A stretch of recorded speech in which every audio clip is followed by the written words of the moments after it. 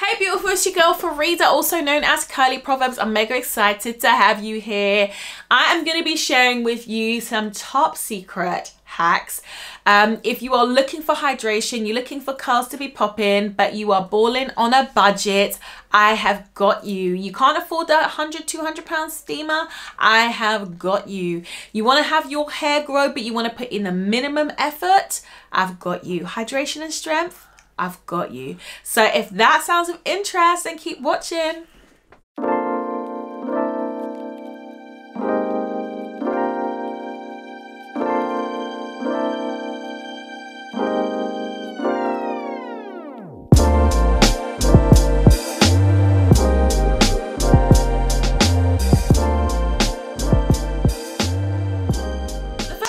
Going to be doing is we're actually going to be making DIY warmers for the hair. The way that you do that, guys, is you need to grab socks and rice. You're going to fill your socks with rice, preferably new, and then you're gonna stitch close the top neck of the sock. I do like to use the ankle ones, the much smaller ones, um, because they work best. And what you're doing is you're making a microwavable warmer. So if you've got some sprigs of rosemary that are dry, or if you've got some essential oils, you can add that into the rice before you stitch it closed. Then you wanna grab one of these um, hair bonnets. Now I got these Prim from Primark for like two for two pounds, and I've actually stitched pockets on the inside inside to hold my warmers. You can make three of those, that's ideal. And then once you've warmed your rice sock in the microwave for about a minute and a half, just pop it in there and you're going to have something warm over your hair that's going to allow your deep conditioner to penetrate in the shower cap that's underneath. The other thing that I would like to say is that you can fake having a steamer at home by first spritzing down your hair with water after you've deep conditioned and twisted. Put your hair into some cling film and then go right ahead and try this hack with a sweater.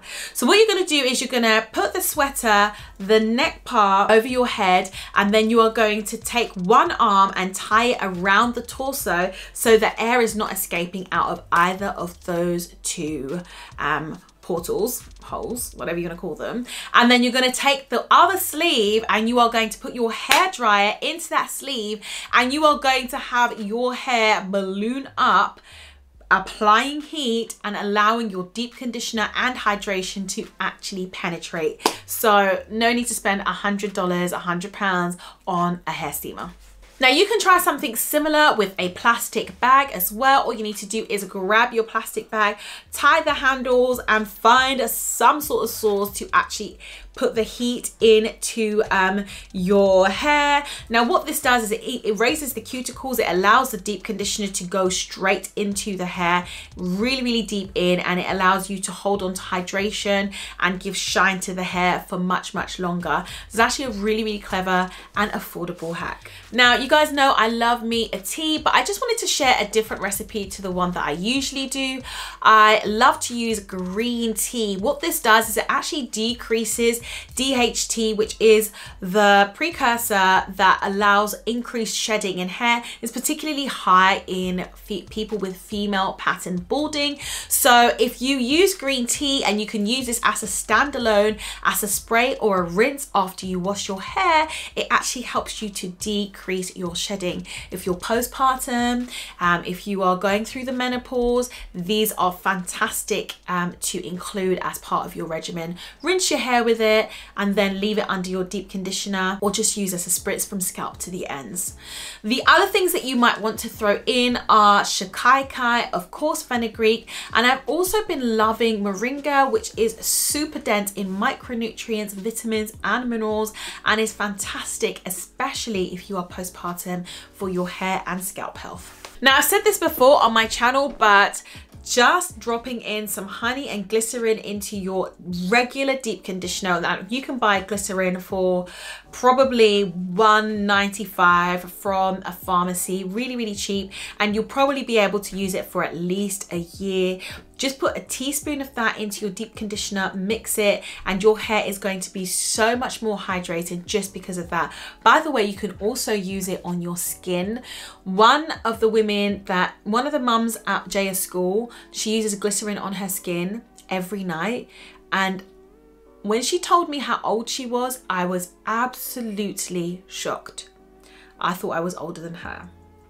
But in fact, she is like seven years my senior and I was absolutely shocked. I know that oils are super important. We all know this as part of our regimen, but to really maximize the benefits of the oils, if you're using it as um, a pre-shampoo treatment, or even if you're just using it at the end of the day, you're oiling your hair before bed, please mist your hair lightly with water. It really does help to truly hydrate your hair and really helps to make your pre-shampoo treatment or your leave-in so much more, so, so much more. For okay, so you want to wash your hair, you've been to the gym, but you don't want to use shampoo yet again. Neat.